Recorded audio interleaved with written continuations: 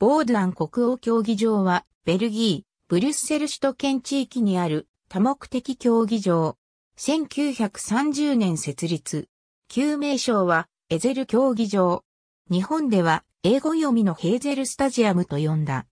1958、1966、1974、1985年の UEFA チャンピオンズカップ決勝、及び1964、1976、1980年の UEFA カップウィーナーズカップ決勝の開催地となった。1958年に6万6千人以上を収容したのが記録された最大の観客数である。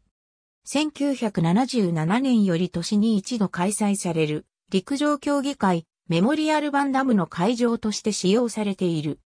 メモリアルバンダムは交通事故に愛用制したイボバンダムを傷んで創設された競技会であり、後年 IAAF ゴールデンリーグや IAAF ダイヤモンドリーグの一大会として実施されている。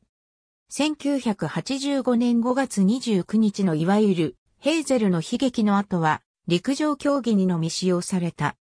ヘーゼルの悲劇から10年後、エゼル競技場は150億ベルギーフランを投じて再建、解消された。